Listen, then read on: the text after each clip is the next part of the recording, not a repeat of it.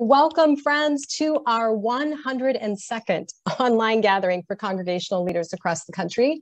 This monthly gathering is called Courageous Leadership and it's sponsored by ELCA's coaching ministry.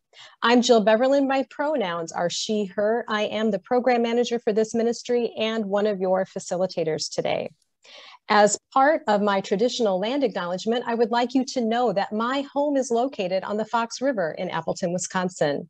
This area is the ancestral territory of five nations of Native Indigenous peoples, the Menominee tribe, the Ho-Chunk Winnebago tribe, the Potawatomi tribe, the Oneida tribe, and the Stockbridge Munsee Band of Mohicans, and the Brothertown community. I honor and respect the diverse Indigenous peoples connected to this territory on which I live. So as we step into our time today, friends, I also encourage us to remember that we are creating and holding a safe and brave space in these gatherings for you to bring the truth of who you are and how you are doing. These conversations are meant to be an intentional step to live more fully into God's dream for us as the body of Christ. And as the body of Christ, we will start by centering ourselves and so I do have a PowerPoint to share. I'm hoping that you can all see it. Is there a thumbs up if you can? Okay, so with that, I'm not seeing what I need on my side, which makes that kind of difficult. There we go. All right, so here we are with a reading from the book of Ephesians, chapter 4. Now, these are the gifts Christ gives us to the church the apostles, the prophets, the evangelists, and the pastors and teachers. Their responsibility is to equip God's people to do God's work and build up the church, the body of Christ. This will continue until we all come to such unity in our faith and knowledge of God's Son that we will be mature in the Lord, measuring up to the full and complete standard of Christ. Then we will no longer be immature like children. We won't be tossed and blown about by every wind of new teaching. We will not be influenced when people try to trick us with lies so clever they should sound like truth. Instead, we will speak the truth in love, growing in every way more and more like Christ, who is the head of his body, the church. He makes the whole body fit together perfectly.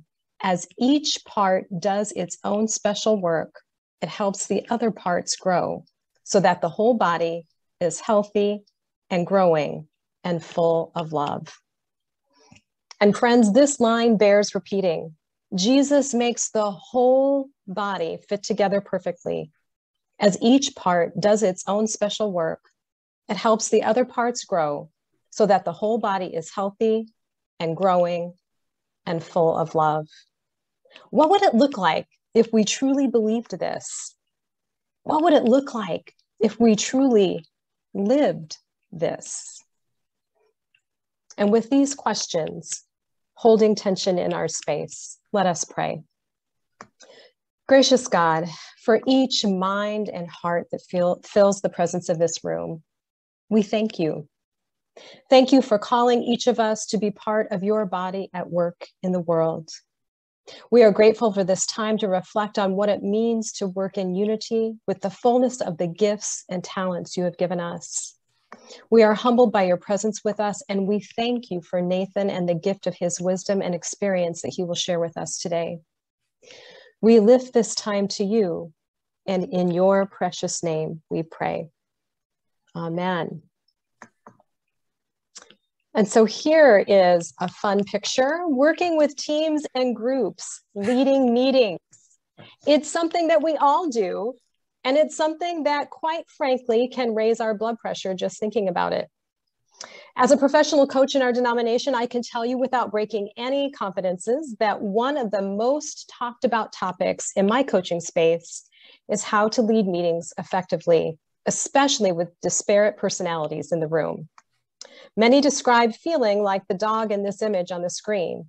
It's a constant balancing act, and it's draining and it's difficult.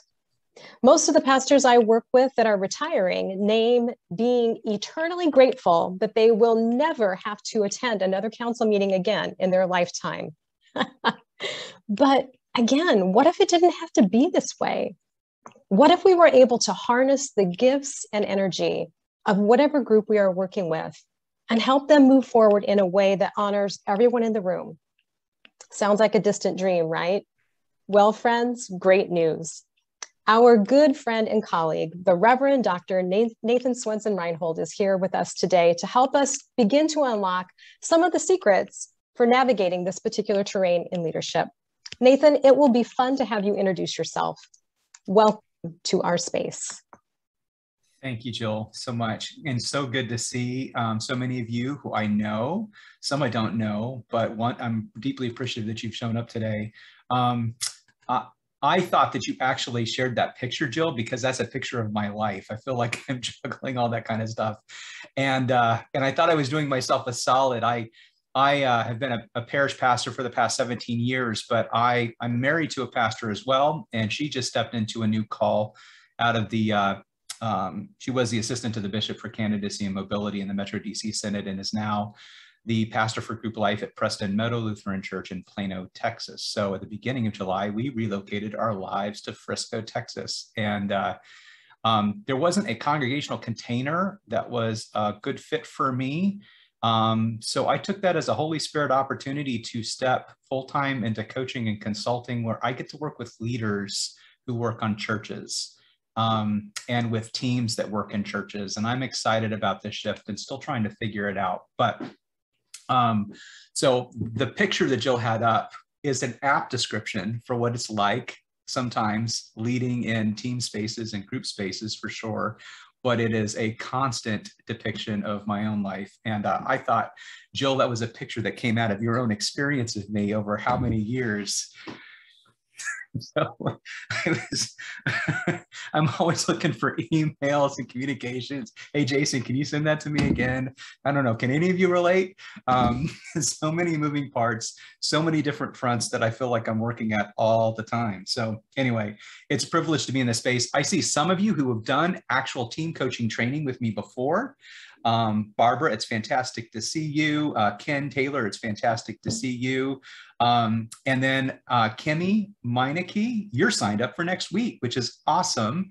So the presentation I put together today talks about team and group coaching dynamics without doing the content of that. So if you still want to have that experience, there's going to be some overlap, obviously. Um, I think, but I think only two slides that I use are actually used in that presentation. So um, hopefully this builds on that. If you want further uh, conversation, and for those you've done team and group coaching, hopefully this is a nice recap and a little bit different way of talking about it. So hopefully we all win. And if you've never done any of it before and are just coming to be edified, I pray that that's the outcome of the next 30, 45 minutes, um, however long this takes. So that's that. Um, uh, let me um, let me go ahead and share my screen and go big. I'm calling today's conversation "Moving People," a Summit Team Coaching overview in in partnership, obviously, with EL ELCA's Courageous Leadership. And Jill, I think it's amazing that this is the 102nd episode. Um, it's phenomenal. Um, yeah, Nathan, you were one of our very first ones in I, I think I was the first one. March of 2020, yes. I think I so was. I should have named that. I apologize. No, it's okay. It's okay. It was great to partner in that space that time. And it's great to be back. You've had me a couple other times too. Um, just a little bit about me. I'm married to Erin. She's the pastor in the middle there. Um, if you can see that on your screen, we've been married for about 25 years. Our oldest is a recent college graduate. For those of you who can relate with graduating kids out of school, um, and know what a significant event that is. And he's not living at home, which we're excited about. And he's gainfully employed. And he says it's not enough money, but he's figuring it out anyway because we're not sending him extra checks. So um, my middle son is about to go to Texas A&M here in three, four weeks.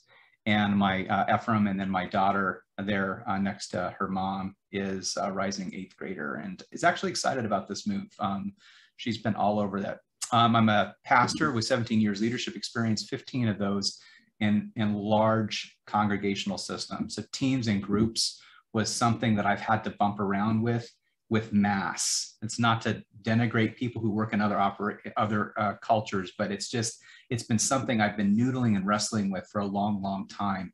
And this whole conversation is a distillation of that kind of experience for me as a leader and as a coach. Um, I do hold a PCC credential. I've got over a thousand hours of seat time now. Um, I was just figuring that up and about 145 unique clients, um, individuals, teams, and organizations, um, which is a lot. That's incredible, um, at least in my brain. I'm a certified DISC behavioral consultant. Um, I do have a, a, doctorate in leadership and cultural architecture, and then I have my own shingle uh, summit coaching and behavioral consulting. Most recently, I'm now a consultant as well with GSB fundraising. If you've heard of GSB, hopefully you perceive them well. Um, it's actually the thing I'm most excited about right now because it is a phenomenal group of leaders and consultants who do really, really great work with congregations and nonprofits, strategic planning, fundraising, et cetera. Anyway, that's snapshot of me. What I like to do in these spaces, and I'm assuming that the folks we have here today, some of you are trained coaches. All of you are leaders. So whether you're a coach um, identified, been trained or not, or a leader, I still want to start with a coaching definition, my coaching definition, because I think, I think um, it gives us a baseline for conversation about how we as leaders operate in relationship to others. I am convinced that a coaching posture is the most powerful posture that we can take, especially if we care about the development of um, the teams, groups, and systems around us. And so it's where I like to start.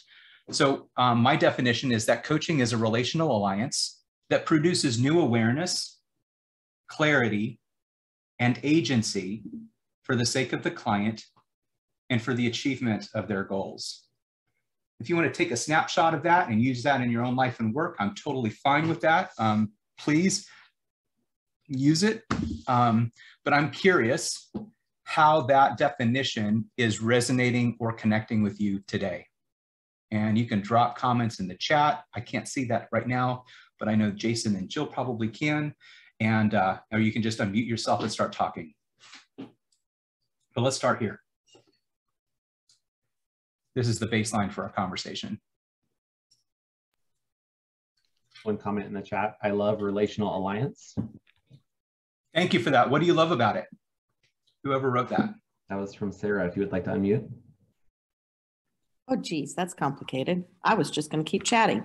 Um, it's so descriptive, and it's it it's the goal for any coaching relationship that it is connected and that we are working together towards the client's goal. Their goal becomes my goal. Absolutely. Fantastic. Thank you, Sarah, for answering. Who else? And then Sunny put in new awareness really hit how, how tell me more, Sunny. Why is new awareness hitting you today? Um, I just think right now, in the midst of everything, um, for one thing, everything feels new, and we're kind of getting tired of that. But to add the new awareness and really focus on what it is that, that we're learning and to be open to surprises. Um, so that just grabbed me. Thank you. That's really, really great articulation of that. How about one more? Raymond, did you unmute? I did. I was going to say I like to focus on for the sake of the client and for the achievement of their goals. It's not about me, it's about you or whoever you is. Yeah, I'll tell you personally, one of my favorite things about coaching is it, it deconstructs my narcissism. It's one of the few spaces where I'm trained to show up and be wholly present for somebody else. And it's actually made me a better father, a better husband, a better leader, a better human um, because I don't know that I knew how to do that. I didn't have a, a practice, a modality where that was the goal, um, was to be wholly there and present for another. So for me, I know some people are wired for that. Um, though you Enneagram 2s out there know what I'm talking about. Um, you embody this. Um, I'm an Enneagram 4, I don't. And, um, and for me, it made me a better human. How about one more? You guys are doing great with this. I love your reflections. There have been several more in the chat, but I'm going to invite if somebody just wants to unmute, go for it.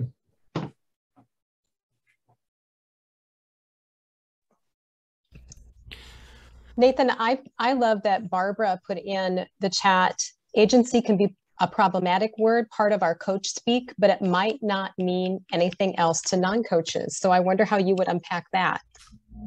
I love the word agency, and actually I actually appreciate that um, that lob over the net and the invitation to engage that.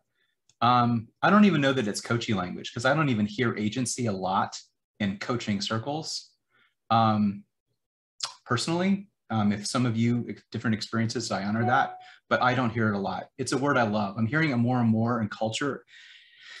And I think it revolves around this ongoing sense that we are all overwhelmed and feel like we are beset and assailed by forces beyond our control.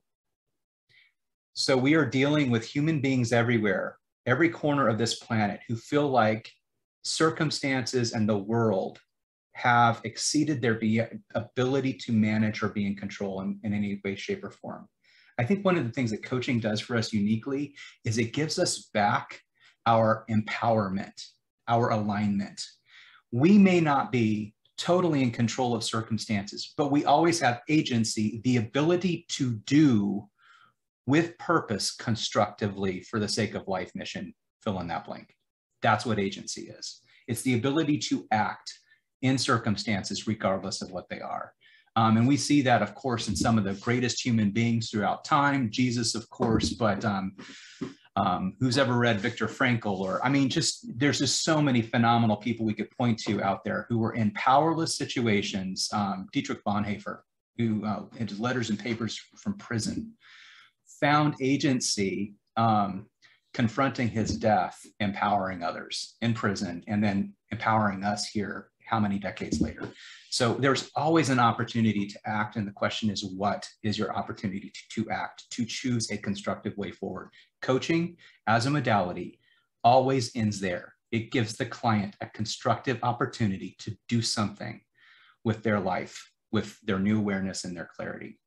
And I love that about it. Jason? Uh, do we have time for one more? Ken had raised sure. his hand. Go for it. Ken, would you like to go ahead and share? You know, I was I was actually going to talk about this this um, agency idea um, that there's the clarity is to instill the agency in the client, not so much trying to overpower some some form of external, extrinsic kind of um, viewpoints or ideologies on the client, but it's actually discovering and bringing to blossom that internal agency, that it, uh, intrinsic kind of value. Of, but what I just said was kind of paled in comparison than what you just said, so that's fine. no, that's really really helpful, and it's important to define. So awareness is over can be very very um, overwhelming for our teams, our groups, our clients. Um, we as human beings intentionally mute awareness in so many different ways. This is why substance abuse is at an all-time high. This is why, right? Because there is so much noise. We can only, our circuits can only take so much. What coaching does is uniquely invites your team or group to take information, to become aware of forces that are acting on it.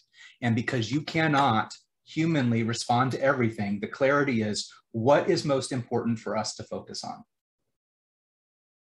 I'm getting ahead of myself. But when you get a team or a group talking about that, narrowing that stuff down, now we've got one to three things. Now we can move those, those finite things into action. So clarity allows us to ultimately get from awareness to the things that are assailing us or the things that we need to be dealing with or aware of into a place where we identify what's most important and can choose action. So it's, yeah, it's reductive but it's the fundamental movement of coaching. So um, thank you for that, Ken. I'm not going to spend time on the ICF's definition today, but I do want to talk with you all about what are the unique challenges of coaching groups of people. I want you talking about this. What are the unique challenges of coaching groups of people? You there are many there are yeah. many opinions and perspectives. Yes. There are many minds. Jason? I would add agendas. There are many agendas. Yep. Fantastic. What else? Your, your first job is to figure out if they want to go in the right direction, and that can be the worst part. Is figuring out what direction people are headed. Yeah. Yeah. You're teeing up well the conversation about the difference between a team and a group, but I'm not ready to go there yet. Let's continue to crowdsource this. What are the unique challenges of coaching groups of people? They can be complex. They, they can be complex. Conflicting. Yes, they sure can. Absolutely. What else? I think uh, establishing some kind of equanimity or, or balance amongst the group. Yes. Okay. Uh, Managing forces of power. What else, Jason? I'm sorry. So, yeah, some things from the chat. Uh, many abilities, anti-corporate impulse, and honoring people but not letting someone take the floor and never let go. Okay. yep, we've all had the experience of the person who uh, who monopolizes the entire space and the facilitator who doesn't stop that person, right? Um, or the processes and ground rules that weren't set up to manage how much time and space and air we were going to give to everybody and how we were going to do process, all that stuff. How about a couple more? You guys are doing great. Let me refine the question. Let me ask it a different way. What has been your greatest challenge in the coaching and or leading of groups of people?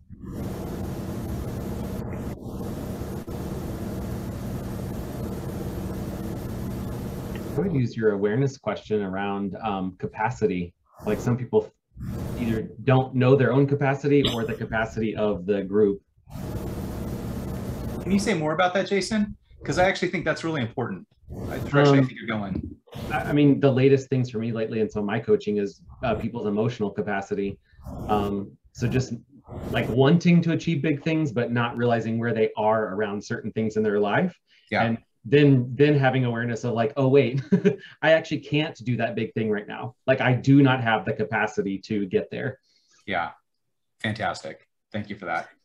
Kimmy. Well, and related to something you said earlier, that that that driving question of what's most important is that when people feel so overwhelmed, they have a hard time sifting through all the stuff, all the things, and then to really focus in. They just have a hard time doing that ta- that prioritization task. That's been Yeah. my experience.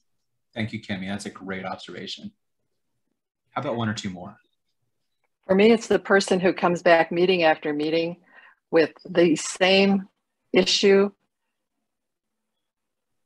Seemingly it's addressed and the person seems satisfied, but comes back again and again and again. And trying to figure out what it is that's prompting that repetition.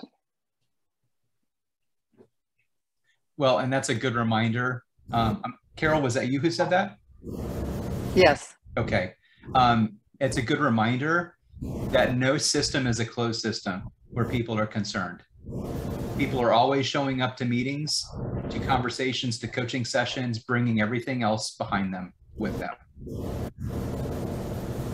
I would also say that um, people that think they know, they think they know certain things but don't, and and are trying to make sure that the facilitator or the person that's bringing the information doesn't um, bum rush everybody.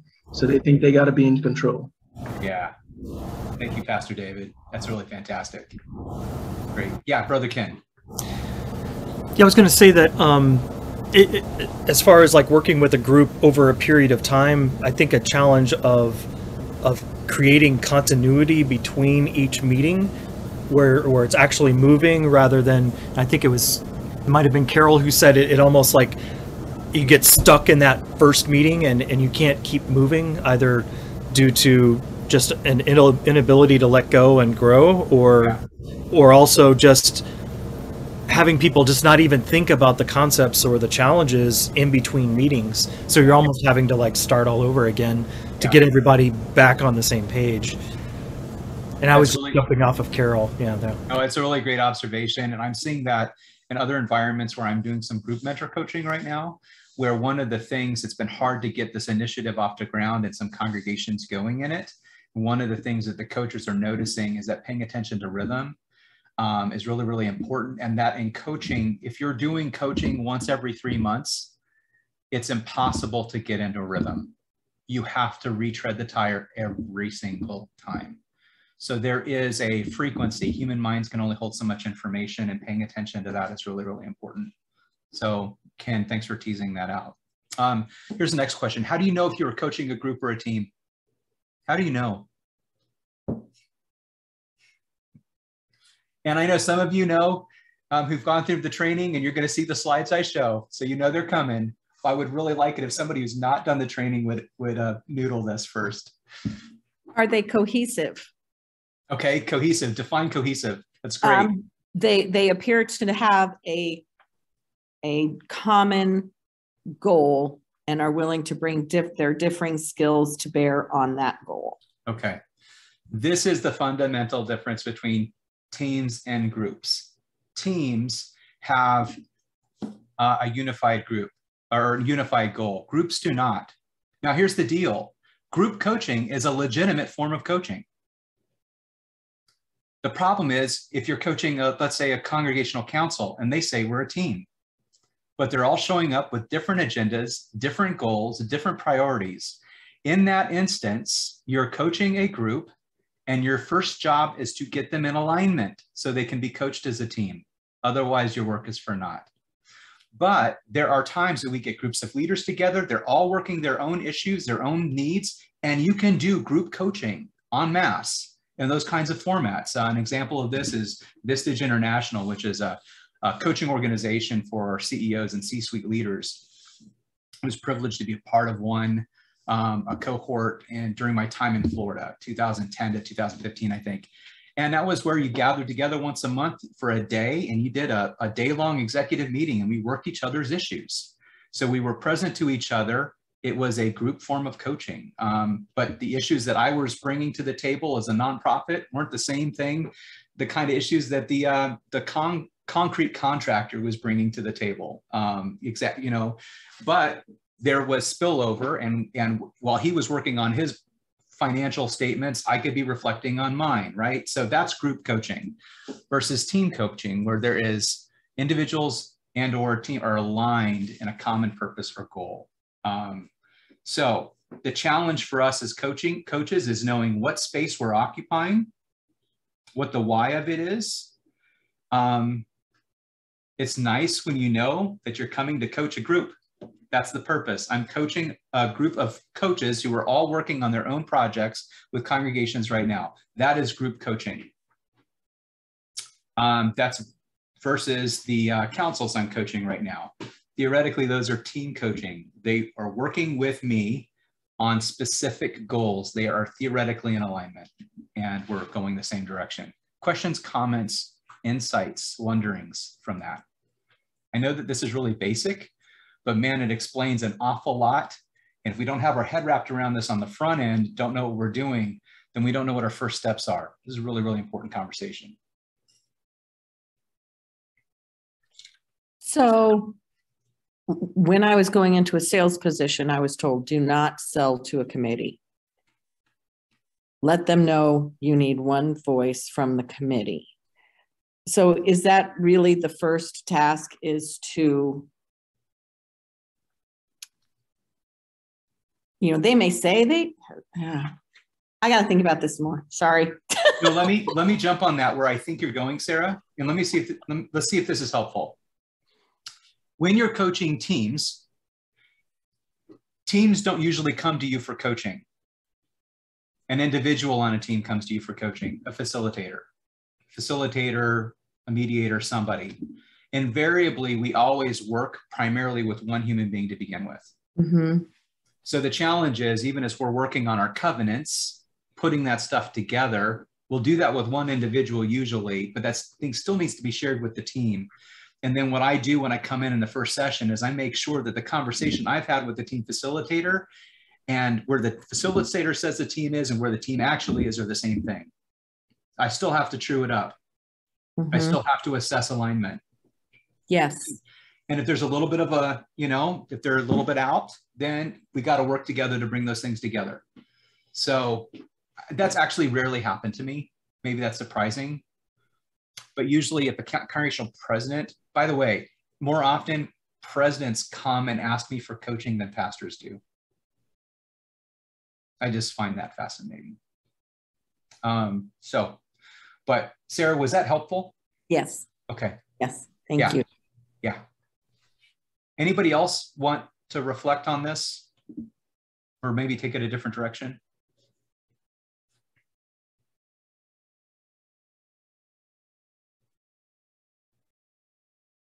Okay. So here's a key concept that runs through all of this, and this alignment. Alignment's necessary whether you're coaching a group or a team. They're just different kinds of alignment. If you're coaching a group, invariably they're there for the same purpose, i.e., to be coached on their respective issues. They may not be pointed at the same thing, that's fine, but there's an agreement about why we are here. That's alignment. Let me say that again. There is agreement about why we are here. Teams, it works the same way. There has to be an agreement about what we are here for. And agreement on one point is all that's necessary to get started. Sometimes you'll have teams that are agreed that we need to work on a certain destination, but they're not in agreement about why exactly they're there. Sometimes you'll have teams that are in agreement that they need to be there, need, need to be in coaching, but they aren't clear together about the destination. I don't care about that. As long as I have one point to work with, folks, that I can focus people on, going back to this image, then we can, then we're in business. We can work. Because at that point, you get to be in a pure coaching kind of position with your teams.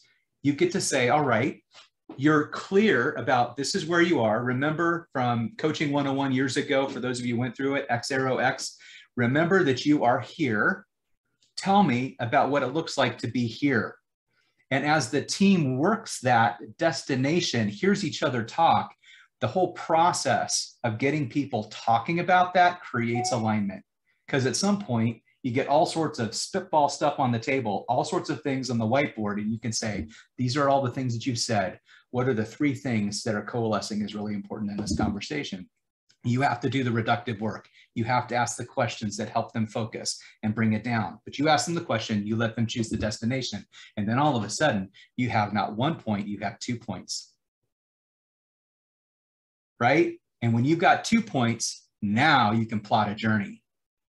So we're clear now that we're here. And we're clear now that we want to go here.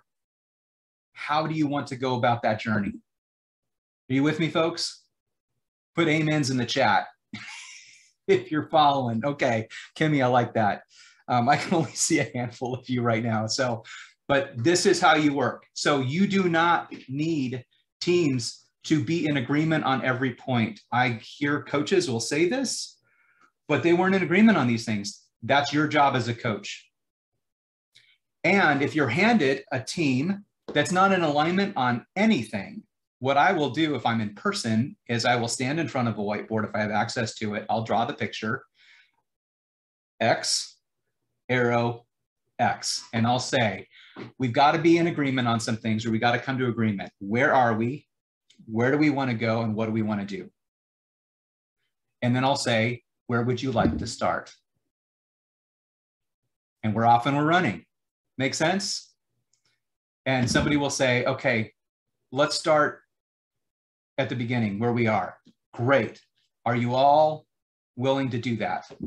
And you get buy in from people and you're off and you're running. Okay, tell me about your current context. Awareness, what's going on? What's it look like, feel like, smell like, taste like to be where you are? So you're all getting on the same page and then you're working your process. Am I making sense? I know that this seems really basic, but I see all the time we don't do this. We don't do this well either as coaches and we don't do it as leaders. The leadership process looks the same. It's the same thing from a facilitative conversation, unless you are an uber authoritarian leader and you're telling people, this is where we're starting, this is where we're going, and this is how we're going to get there. I will tell you from a leadership perspective, there are times of existential crisis where that kind of leadership may be appropriate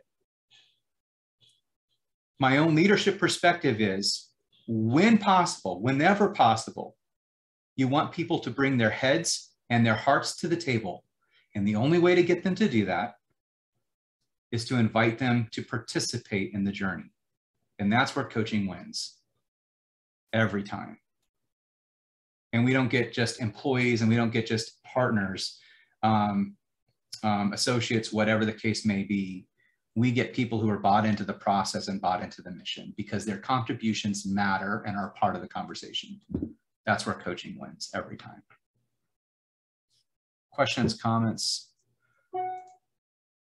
So this alignment thing is important, but alignment can start with just a single point. Um, so you just heard how I work alignment. What other kinds of questions could you ask that facilitate alignment within a team?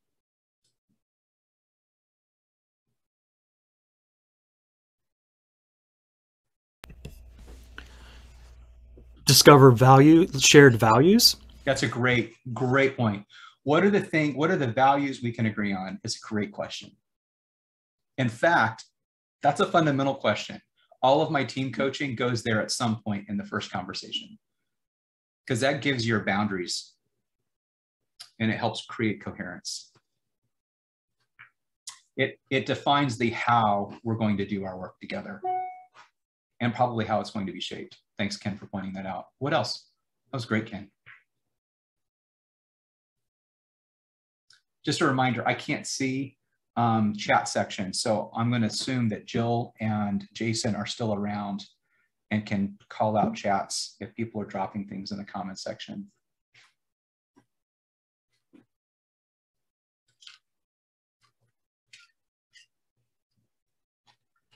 So everything that's popping into my head feels more like I would be identifying where there isn't alignment.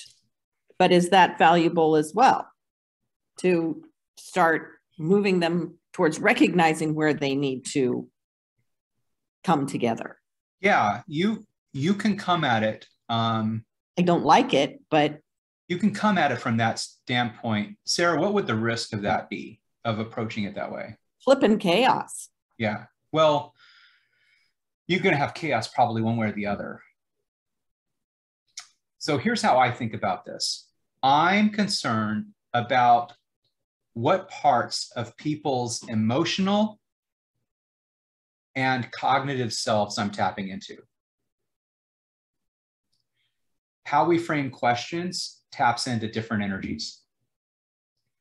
Um, there are times that we need to focus on the negatives. But if I'm trying to build coherence, I go to shared values. Mm-hmm. I approach it that way because, again, the point is alignment. If I've done that for a good period of time and I'm still feeling like things are out of alignment, then I may ask people to name the elephant in the room at that point. I'll go there. But I want to keep things in a very positive, emotionally open space. As soon as we start moving into negative spaces, if people get reactive, then people's brains are starting to shut down. Now, I know we human beings are only limbic systems, and this whole neocortex was evolved just to support and justify our emotional reactions. And I'm sorry if that doesn't meet your high-minded perceptions of yourselves, but that that's human beings. So I know that there are two primary motivators when I'm dealing with people. There's fear and inspiration. Fear shuts people down, inspiration opens people up. Connecting alignment opens people up. I want for good process, whether I'm coaching a, a person or persons, to do things as a coach that facilitate as much emotional and cognitive openness as possible. I will get much better results within for them than if I am getting backing them into a corner of fear. And Sarah, I don't think that's what you were saying. No, but no, but I, I wasn't. I yeah. wasn't finding the. Yeah. The positives. Yeah. Well, sometimes you don't, but still starting with the okay. Tell me what can hold us together here. What can we agree on? And if you can't agree on values, sometimes it's something physical. It's going to the concrete. Can we agree on our situation? What can we agree on about our current situation? Or What can we agree on about where we, we need to be? So again, you've got options and probably there's a dozen, two dozen, three dozen more options even than what we're surfacing right now. And we don't have time to get to all those today, but you get the idea. Mm -hmm. Here's what I want to present to you. In all of the literature related to team coaching, there's the concept of the funnel. It's the most fundamental process. And that's actually what for me, because the funnel needs a name and it needs a conceptual idea. And that's what awareness, clarity, and agency is all about. It's a reductive process that takes the constellation of thought, of disparate thought and awareness and everything that's going on and invites individuals and teams to figure out what's important to focus on because you cannot focus on everything. Everybody say that. You don't have to turn on your mics, just say it out loud. We cannot focus on everything. And the bigger the group, the more reductive the conversation has to be, the less nuanced. It's just the way that it works. So um, honestly, if you're working a team in a 60 to 120 minute session, working, uh, working on one thing is enough. So you've got to get them in agreement about what the, the thing is. Uh, remember um, City Slickers? What's the one thing? you, you got to get them into the, the one thing conversation. What's the most important thing? Maybe not the most important thing for all time, but what's the most important thing for this next 30 minutes, 60 minutes, 90 minutes? What's the most important thing? And let's focus on that. So awareness, clarity, and agency, we're always dealing with a funnel in some way, shape, or form. Um, and I do talk about this in the Fuller thing. I've got a visual and model for it, but think funnel. And I like the funnel methodology, both for teams and for individuals. I'll give you a teaser. Just like teams and groups are made up of many minds, so are single individuals. And when you figure that out, then you really start to understand the difficulty and dynamism and possibility and risk of coaching. Our neuroscience is saying that we are a lot of overlaying programs, autonomic response processes for different situations. We have multiple minds, which is why, Sarah, thank you for teasing this up because it's a great insight to play into. Paying attention to the language that we use, the kinds of questions we ask, and the spaces, the human spaces that we're accessing. What we're accessing is really, really important. So we don't have to be in control of the situation, but we have to partner well. And again, I have a bias towards opening people up, not shutting people down. Um, because I believe that produces greater coaching results. And in fact, I think if you pay attention to ICF core competencies and what they're getting at, they're pointing at the same things. This is my language for the same process. I'm just coming at it from uh, an EQ, an EQ IQ space rather than a pure coaching space. Using as the funnel as an image, what kinds of questions um, could you use that would help a team move towards alignment? Ken, please. What is needful now? What is needful now is a great question. And that's a clarifying question. What else? By the way, if you're putting things in the chats, just unmute yourself so I could hear you. Again, I can't see chat and I don't want to miss. I don't want to miss anybody else. What other kinds of questions could you use that would help the team move towards alignment? I think Lois's chat from earlier, uh, but right before you moved on, is what are the team or group's strengths? Excellent. Yeah. That's an aligning question. What's important right now? What's important right now? Thank you, Kimmy.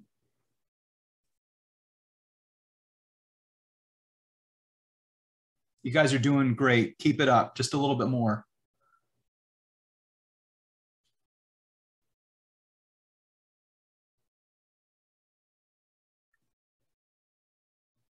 What can we set aside? Yes.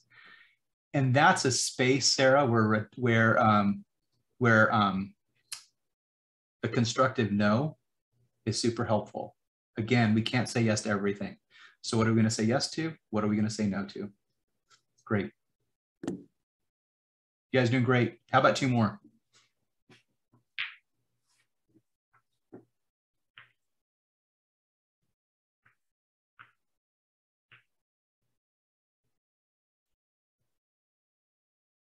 What is God calling us to do? Why not invite God into the conversation? Which can be, honestly, an incredible complicator. Uh, people hear God very, very differently. Mhm. That said, to ground our common work in prayer and reflection has an aligning quality to it all the time. What do you have? Ener- what do we have energy for? Yeah, because sometimes the best ideas are ideas that are beyond our current energetic means. And identifying that's a part of the, the journey. That's great. Thank you, Kimmy. That's fantastic. Jason? Oh, you just showed up on my screen again. I figured you came back for a reason. Sorry. No, that's, I see Gretchen unmuted. Go ahead, Gretchen. Oh, I was going to say, what are we good at? Yeah. Because we're not good at everything. It's great. Great hmm. clarifying question. What else? And what I like about that question, Gretchen, is it's both an awareness question and it's a clarifying question. It does both in one fell swoop. And we can use the answers to empower our agency later on, working out of our strengths and not our weaknesses. Maybe managing our weaknesses, to use Gallup language. Okay. All right. Oh, Jason, go ahead, please. You got one more? Just saw in the chat, uh, which one of these will be the most energizing or will provide the biggest impact? Yes. I like that kind of thinking and that kind of approach to questions. When we're plotting initiatives with teams, usually there's one focal point that does the heavy lifting. If we gave our best energy to that one thing, it would accomplish 60 to 70% of what we actually want to get accomplished. And when you can help a team realize that, then all of a sudden they're not trying to put their eggs in eight or nine different baskets. They're okay putting their energy in one, one or two primary things and doing it well, and it has greater impact for outcomes than anything else. Because guess what? Again, we're finite and we can't do everything. Thank you for that. It was really good. So this is a real basic kind of over overview um, of this. And aside from the awareness, clarity, and agency conversation that I'd love for you to take and be portable, I think it's really useful. I use it in my leadership, much less my coaching all the time. And it's great for working with individuals and it's great for working with teams and groups. Please take it and use it. Um, I'm curious what else you might be walking away with that's helpful for you today. Because we're already at time. I think I was supposed to take 30 minutes. I'm sorry, guys. I'm Jill and Jason didn't shut me off. So that I can bring to my council. What's that? I'm grateful for this list of list of questions that I can bring to my council after our first year together. Fantastic. Thank you, Gretchen.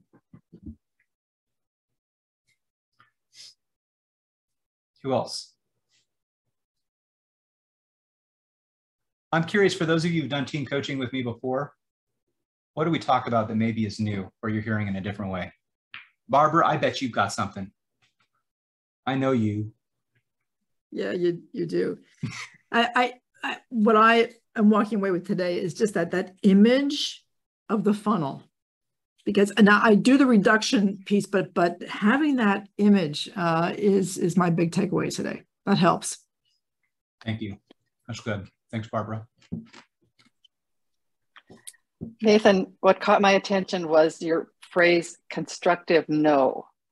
I have clients who struggle with how do I do less? I'm overwhelmed, and everything I'm trying to do is so important. And if we could frame it as a constructive no, I think that's going to help them. Uh, it's fascinating that you tease that out. I heard my daughter talking with my spouse last night about learning how to say no to things. She's 13. It was a fascinating conversation. I honestly don't know that I know how to say no to things. Like, I think I'm a horrible model. Thank you, Carol, for that. That was a gift to me today. How about two more things? And then we'll give it back to Jill and Jason.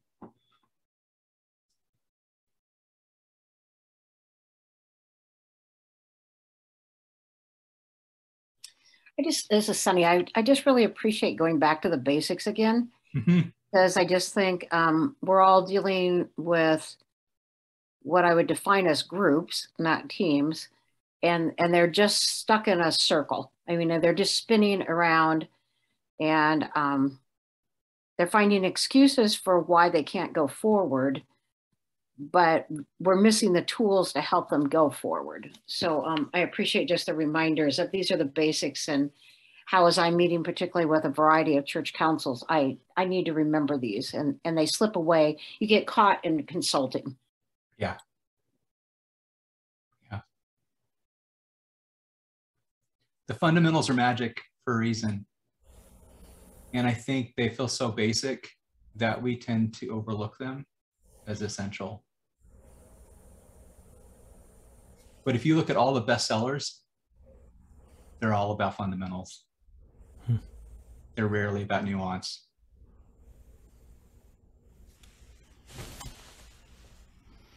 I, w- I would like to echo um, what Sunny was talking about. For me, today has been a great reboot um, because there's just been so many things that have been going on, and and just really trying to um, kind of navigate through. You know, is the pandemic over? Is it not over? Um, do we still have a government? Do we? do, does anybody care? Um, you know, just all these things. You know, global warming, all this stuff, and this has been really helpful for me to just kind of reframe and um, yeah. So thank you for the opportunity. Thanks, Brother Ken, for being here. Really appreciate it. Friends, unless there's something else, I just want to say thank you uh, for being here and being part of this conversation. Uh, to Jill and Jason for inviting me back um, to equip and empower, which I love to do. It's my life's passion and mission. And uh, and if you're more interested in this conversation and want uh, eight CCEs um, through the ICF, or even if you don't want eight CCEs, but want to hang out with me for a day, um, got a team coaching training next week. Would like to have you in it. And Jason can tell you how to get connected to that. Thank you, everybody. I'll stay on, but I really appreciate appreciate all of you handing this back over. And we thank you so much, Nathan, for this. So many nuggets of wisdom. Yes, thank you, Barbara, for starting the, the applause. Jason has put in the chat a way for you to sign up for the Fuller training um, to really take a deeper dive with some of these beginning concepts that, that Nathan has um, paraded out for us today. And, and really want to reinforce, friends, that you don't have to be a coach to attend that training, even though it's framed under our ministry uh, of coaching ministry, we've had many leaders um, attend that are not priorly trained in coaching that have walked away saying, I feel like I can really facilitate a meeting now, a fruitful meeting. Um, Nathan, for me to answer some of the questions that you had out there, I think that the image that I'm going to build on, on the funnel image, and one of the things I love about the funnel is that in that funnel, you can honor all of the different perspectives that are swirling, right? Because I think that the misnomer that we have as a team is that we have to see absolutely everything the same. And that's so not true. And what Nathan is, is proposing to us is that there's a way to acknowledge those differences. And even what Brother Ken just talked about, everyone sitting in that team or in that group that you're walking with comes with the layers of all of those larger existential questions and, and things on their heart climate change, government, all the things, um, COVID. And then in their own lives, they have their own dumpster fires that have different names on them that they're handling. And so there's a way to honor all of those different things. But then when you ask those questions of alignment, it's like, okay, what, what are those things that we can choose to focus on? And it doesn't dishonor those other things. And how would we be different if we could really live in a space where those things are honored? And, and what I will propose to you is one of the greatest benefits in, in this is getting off the hamster wheel. I can't tell you how many times I've walked into a, a, council meeting thinking it's the same meeting just a different day and just a different day you know different month that and so here we are again and again. And friends what nathan is talking about will help you get off the hamster wheel. And people want to come to those meetings. They want to come feeling like they're moving forward. And so with that again thank you and and bless you for sharing your your wisdom your experience your talents with us nathan. Um, please share this link to sign up. If you know that you have a colleague that's struggling, get them to that training. Next Wednesday, friends, is the first Wednesday of the month. So we will be gathering here again our small groups by topics.